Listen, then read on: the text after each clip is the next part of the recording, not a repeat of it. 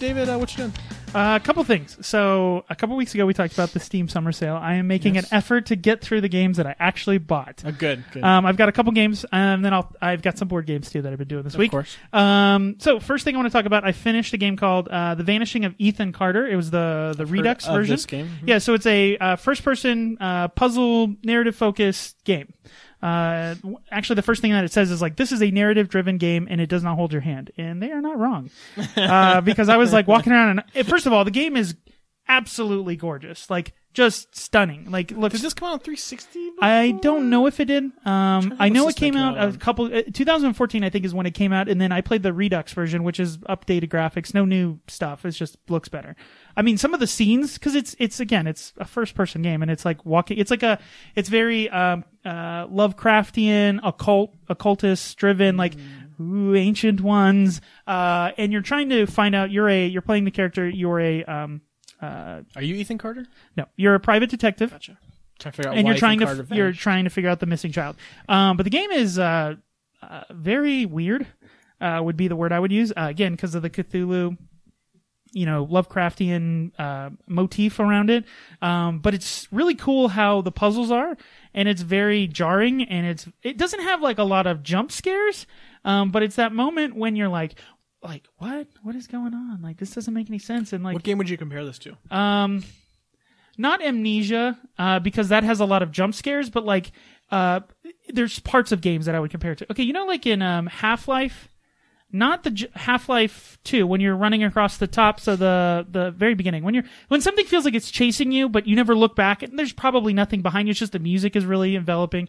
Dun, dun, dun, Yeah, yeah, and yeah. like gotta go, and like the game is meant to, you know, not make it so you get caught, but very, um, uh, very simple but thought out puzzles.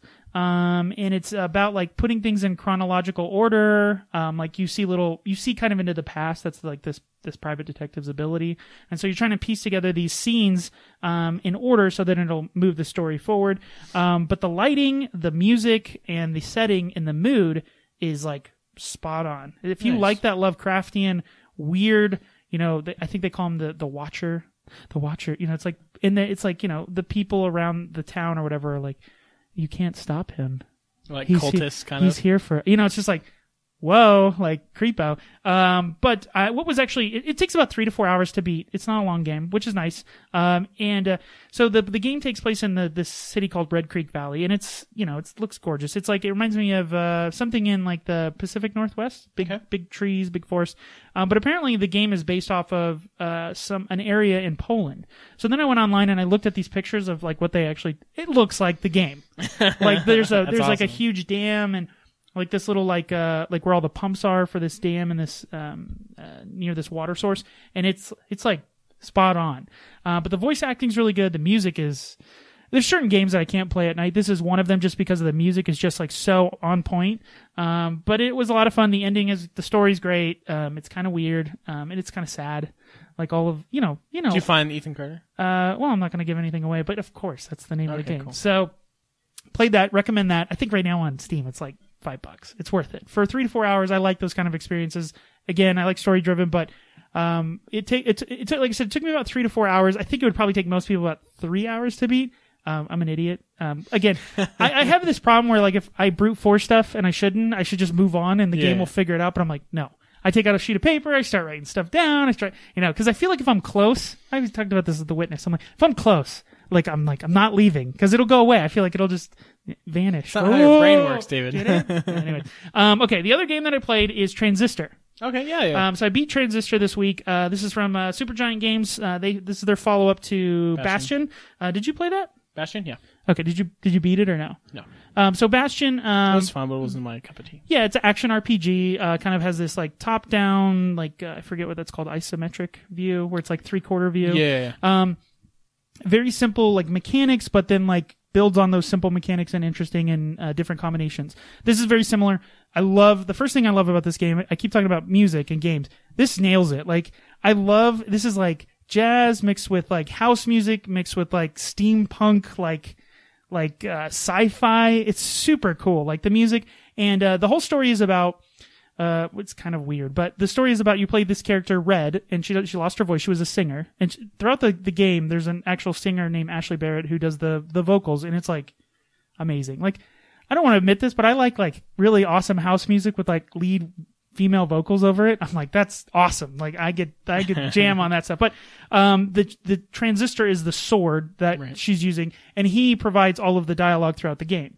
Uh, but the same thing, like you, when you play Bastion, the character in the game reacts to what you're doing, which is super the narrator. the narrator reacts to what you're doing in the game in like weird and interesting ways. So if like you go the wrong way, he's like, "Hey, don't go that way," and then like you keep going, he's like, "I thought I said don't." Like it's weird. Like the game is like, you know, paying It's attention. like the Stanley Parable. Yeah, exactly, just like that. Um, but the the game's really interesting. It's about like uh, kind of this um outbreak, or not outbreak. It reminds me of the flood from uh, Halo, but this like technology is like taking over the city. Um, and so you're using, you're fighting the technology, and what's Your cool. sword is what level up. Right? Yeah, Kind of. well, you it's it's weird. Like you take like it seemed like you took like the essence from people, their technological spark or whatever from them to gain power ups for your character, and so you have like four different attacks: X, Y, B, A. On a, I played on an Xbox controller on the PC, um, and you have power ups that you can uh, put in those slots, and then you can combine them. And there's like tons of different Like combinations. Yeah, so like for instance, like I wrote it down here, like uh, one of them was that you can uh, essentially like fire a laser from your sword, so you can hit like people from a distance. But you can combine that with like an area attack, so then when it hits something, it explodes. Think of like an exploding grenade. That's pretty simple. Then you can like, uh, if you want to take that grenade thing off and you want to put this ability that turns good guys to or bad guys to good guys and start they start fighting for you for temporarily, you can do that. Or you can do a grenade that does that. So like you can take they take like you know, I'm sure there's like 20 or 30 different types of um, uh, attacks or mechanisms, and they combine them in very unique and different ways. Um, but the artwork is like it's all hand drawn, just like Bastion. The small cutscenes are like they look like something out of an amazing AAA anime, like Cowboy Nice. Bebop is what I think of, uh, or Bebop Cowboy. I can't remember the name of it, but just super cool. I love them. I love the theming of the game, and the music is. I, I already I downloaded the soundtrack. I'm, I like listen to the soundtrack now. It's just so so good. It's on sale as we're talking right now, but it'll be off sale after the weekend. But I, I think it's been on my wish list since the game came out. I just there's so many games. I you gotta play this. It didn't take me long to beat again. I think maybe three four hours to beat. Um, just so good. The artwork and the music alone. I love that there's there's these games that are out. These like these two types of games, kind of bite size that provide a unique story, unique artwork, and just the the polish to them is like through the roof. Um, and I love Super Giant games are really cool. They focus on a lot of music and a lot of storytelling in their action RPGs, which I think is it's like an old school SNES like Legend of uh, what is it? Um, not Legend of Zelda, but uh, oh, what am I on, thinking? I'm thinking Legend. No, no, no, not Legend of Gaia. Come on. Secret of Mana. Like Oh, okay. yeah, those kind of games where they like provide like Earthbound. Like those kind of games kind of gave like a weird story within Yeah, it, yeah. and like I enjoy those. Those were great. There was one that I played played recently that was awesome. But um, the other thing that I'm playing, I played two board games this week. Uh, one You was did? yeah, of course. What? Uh, one of the games that I played is uh, Lords of Waterdeep. I just played it today. I freaking love this game. Uh, it's up on the wall. It's up here. It's it's a Dungeons and Dragons game, but it has nothing to do with Dungeons Oh, and Dragons. We talked about this a bunch. Worker placement. worker placement, which Gerald hates, but this one I like honestly when we played it. Who it was? You, me, Jordan. Was it? Was Alyssa playing? Yeah, I think so. Yeah, That was fun. it's it's you know It's, just, it's not my favorite. it's so simple. You know, so worker placement is always like put your guy there, get stuff, collect stuff, and then go to another place, turn it in. Like it's it's that simple, but it's just like I don't know why that it's so boiled down and so easy and so much fun. And like when me and Alyssa are playing, we can play so quickly because it's just two player. So it's like boom, boom, boom, boom, boom. It's just and then there's a little bit of take that because you can play cards that kind of screw with the other players, but it's not the focus of the game. Um, I just I don't know. I don't know why I love that game so much. It's just so. It's like it's like Pokemon Go. It's simple, but it's like this is like boiled down to the perfect essence of what that game or what a worker placement game is. Um, and it's a you know when I have so many great games, and I'm always like sometimes Alyssa will be like, "Let's play a simple game," and I'm like, ah, "I'm kind of done with simple games. Like I want to I played those. Like when we're playing, I want to play something a little heavier. But for some reason, this one kind of um, fits that window really well. I don't know why I enjoy playing it. It's like um, it's like playing Mario. You know, it's like the original NES Mario. Like it's the most you know simple game, but it's just like I like the you know just I don't know. Lords of Waterdeep is not that simple to me, but I've only played it once or twice. So Uh, the other game that I played is a game called Revolver. Another, it's a two-player game, so me and Alyssa uh, played it. It's a yeah Western game. Uh, one part, it's you get two decks of cards. One per uh, one player is the outlaws, um, and one player is the sheriffs or of the uh, marshals. the marshals. Uh, and uh, what you're doing is they have two different objectives. Uh, obviously, the sheriffs kill are trying. the other sheriff, guys, right? sheriff is trying to kill all of the outlaws. Um, and the outlaws have two objectives: either get out of town. So there's like a time thing. You're trying to get you're trying to get to the 315 to you know some other town or something, or you get rid of all the agents at the Mexican border so you can get out of the get out. So there's kind of two different ways you can win. But uh, each turn you set up like uh, there's there's battlefields. So like there's the bank, and then there's like the the saloon, and then there's like so there's all these cards on the table, and you're trying to move from one spot all the way to the train station, but you have to fight all the way through all these different areas. Um, but the characters, the way the game mechanic works is I, I go first as the outlaws because I'm always the bad guy in all these games. Uh, and I play cards. I can only play three cards to a battlefield and they have like different firepower level. And then the, the, the sheriff goes second and they have to exceed whatever my firepower is. If they can't, then the time ticks one over and none of my guys die. And that's why you have to exceed it. But it's this thing about, uh, it's that great game of like, I want to see what you play before what I play. And I, and the other person wants to see what I'm going to play before what they're going to play. Right. because you get new cards every kind of turn and you don't want to waste like your really heavy cards unless you have the ability to move people from one battlefield to the other. Because once they're in a battlefield they're pretty much stuck. They can't if you ex- like let's say we're at the bank and we're battling it out and you play a lot of great cards and then we we finally get I, a couple of my guys die but we make it out to the saloon or the the the canyon or whatever. Um, if you've wasted all of your great cards and you have no way to move those sheriffs over like i'm just gonna breeze they're through, gonna i'm gonna yeah. breeze yeah breeze through the canyon. So it's it's a it's a great game. It's super simple to play. Comes in this awesome tin a lot of people hate like board game tins you know like the actual like metal tins? I don't know you can't stack them i guess as well i don't know um but i i can't you have a massive bookshelf full of board yeah, exactly. Just go to IKEA. You'll be fine. Um, but the artwork's cool. I love Western themes and games. I, you know, I, it, it's just so much fun, and it's two players, so it's quick. It's easy to play. Um, and you can play both sides. Both sides kind of. It's like uh, when we play like Star Wars Rebellion. Each each side has a um, you know, benefits and has disadvantages to it. God, we gotta play that again. Yeah, I want to get to that. That's we gotta get to that again. It's just that's the, see that's the thing. I was talking about games like Lords of Waterdeep. You could probably play that two player, even three player, in like an hour and a half at the most. Like Rebellion, you're there Rebellion, you for got to be like, okay, we got to set up a day, set up an afternoon. Get snacks. Who's gonna need some snacks? Exactly, exactly.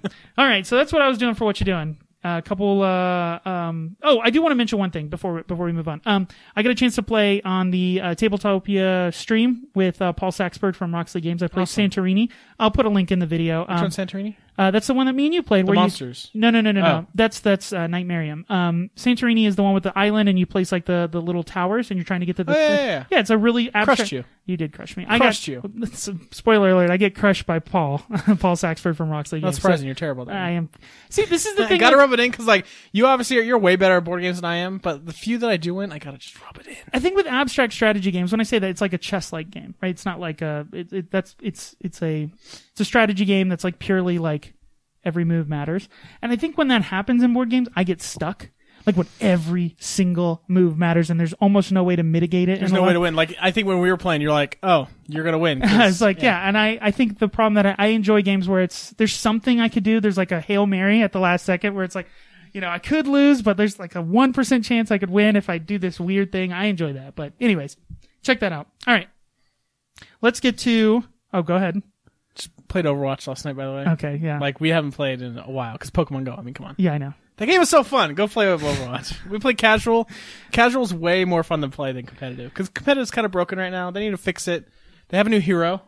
News. Yeah, Ana. news? Ana, we talked about it. I thought the yeah. Well, that you was were, the No, leak, no, but you were you were right. Yeah, it's a sniper that shoots like shoots health. Yeah. Yeah, so it was cool. I haven't I haven't played with her because there's again too many Well, people. she's only on PTR, so. uh, so I, I wouldn't know. But um, was that that was so much fun last night? it was fun. I- Casual is so much more fun. I, you know the thing I, about that game that, and I know it, I'm asking for it to do something that's not going to do. I don't know. It just sometimes it doesn't feel as uh, cooperative when it's like a really focused cooperative game. Like I never, you know, it's like those moments when you're in the, uh, you know what it is? That they don't have vehicles. When you're in a vehicle in like a first person shooter and your buddy's driving and you're in the you know the Well, you haven't played ranked yet. Play ranked, you'll definitely get that feeling because you have to be like, okay, we got time our ults at the same time. You know, Yeah. it's definitely more cooperative. No, but I like, know. people are just too serious. Like, I just like to get super inebriated on Friday and Saturday nights and just play Overwatch casual. You don't have if you don't lose, everyone could be Torb. You know, but anyway, Exactly, Just. I just haven't played that in a while. So just So Overwatch and Pokemon. Anything else new, Gerald? nope. All right, uh, let's get to our uh, standard review of the week. Uh, this week we went and saw Ghostbusters.